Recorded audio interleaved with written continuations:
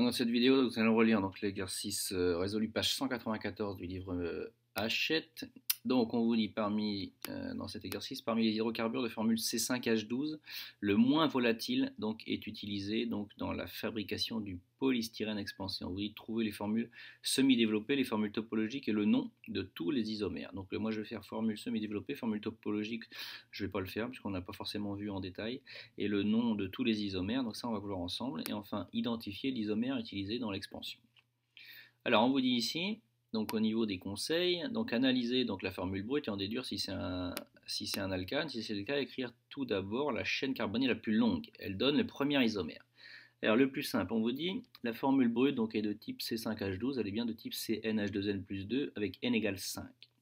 Donc ce sont bien des, des alcanes. Donc vous faites la chaîne carbonée la plus longue à 5 carbones. Donc vous écrivez 5 carbones, 1, 2, 3, 4, 5. Ensuite vous finissez donc avec le nombre de H, donc CH3 en extrémité, CH2 dans la chaîne. Donc ça, c'est le pentane. Alors, pentane, pourquoi? Bon, on cherche la chaîne carbonée la plus longue. Bah, c'est assez facile, c'est celle-là, il y en a 5. Il n'y a pas besoin de numéroter ici, puisqu'il n'y a pas de ramification, elle est linéaire. Donc, 5 pentes, et on met ici le suffixe associé, ane, donc pentane. Ensuite, j'essaie de faire une chaîne avec 4 atomes de carbone et une ramification. Donc je fais 4C, 1, 2, 3, 4, et il faut que je rajoute 1, mais cette fois-ci en ramification. Alors je ne le mets pas au bout, parce que si je le mets au bout, ben, on retrouve celle d'au-dessus. Donc en fait, mes seules possibilités pour 4 atomes de carbone, c'est de mettre ici donc un C sur ce carbone-là, ou alors un C sur ce carbone-là. Mais dans ce cas-là, regardez bien, si vous numérotez, il va falloir numéroter ici. Alors je vais le faire ici, euh, je prends le stylo. Si je numérote là, ici, il faut que je numérote 1, parce qu'il faut que la numérotation ici, donc de la ramification, soit la plus faible. Donc ici 1, 2, 3, 4, je suis obligé de mesurer, de numéroter comme ça. Et si j'ai fait cette molécule-là, je suis obligé de numéroter 1 sur ce carbone-là, pour les mêmes raisons. Donc en fait, ce qui veut dire que, en fait, que vous fassiez l'une ou l'autre, vous faites en fait la même molécule, qui sera donc, si on applique les règles, donc une chaîne à 4, donc c'est le but. But, vous mettez Anne pour le, le suffixe. Et ensuite, vous voyez que dans les deux molécules, c'est les mêmes puisque c'est sur le carbone 2 qu'il y a un groupe constitué donc d'un seul carbone, donc un groupe méthyle. Ce méthyle, donc méthyle, est situé sur le carbone 2, donc c'est pour ça qu'on écrit 2-méthylbutane. Ensuite, on cherche s'il y a un isomère donc, qui possède 3 atomes de carbone, donc on fait une chaîne à 3, C, C, C, on met CH3, et ensuite, si vous avez fait une chaîne carbonée principale ici, donc je vais la numéroter, euh, je prends un stylo, 1 ici, 2 ici, et si vous mettez 3 là, ça veut dire que vous avez ici donc deux ramifications, ici et là.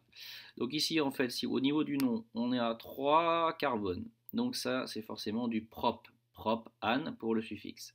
Et ensuite, qu'est-ce qu'on voit? On voit que sur le 2, carbone 2, on a un groupe méthyle ici et un groupe méthyle ici.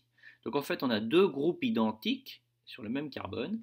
Donc c'est pour ça qu'on met diméthyle, parce qu'il y a deux groupes euh, identiques dans la molécule, de euh, donc diméthyle. Et enfin, ces deux groupes méthyl, donc il faut faire apparaître deux numéros, sont sur le carbone 2 et sur le carbone 2. Donc on remet 2 pour faire comprendre qu'en fait les deux groupes méthyl, il y en avait un sur le, un sur le carbone 2 et un autre sur le carbone 2. 2, et vu qu'on est ici entre deux chiffres, on met une virgule.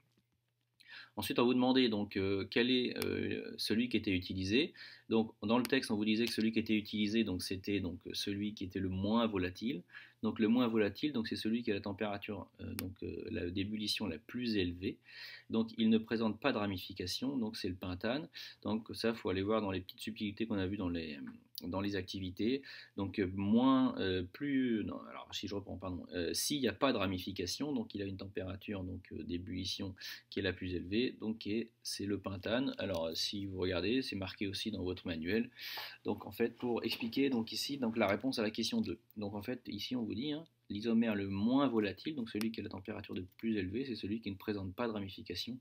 Donc c'est donc le pentane. Donc ça c'est lié à la présence des interactions de Van der Waals et à la taille de la molécule. Donc voilà, donc j'espère que cette euh, euh, vidéo vous sera utile.